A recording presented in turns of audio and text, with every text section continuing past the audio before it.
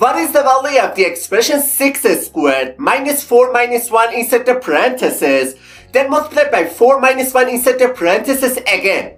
Which option do you think is the correct answer to this question? This expression is very deceptive and 80% of people get the wrong answer.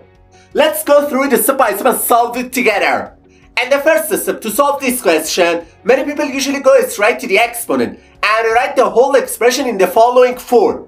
36 minus 4 minus 1 inside the parentheses, then multiply by 4 minus 1 inside the parentheses again. Then they go to the first parenthesis and instead of this expression, they write 36 minus 3 then times 4 minus 1 inside the parentheses. And the next step, they go for the subtraction between 36 and 3, which I have highlighted in yellow. And instead of this expression, they write 33 times 4 minus 1 inside the parentheses.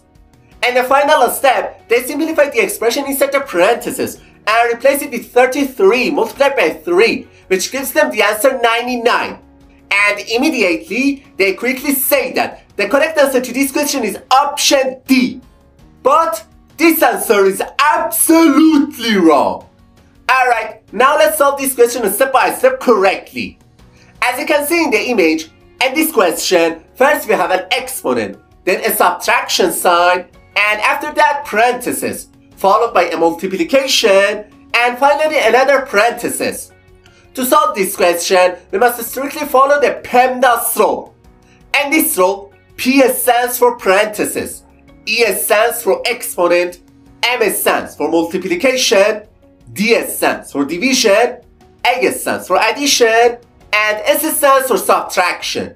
We must perform all the operations in this expression exactly according to the PEMDAS rule in order from top to bottom.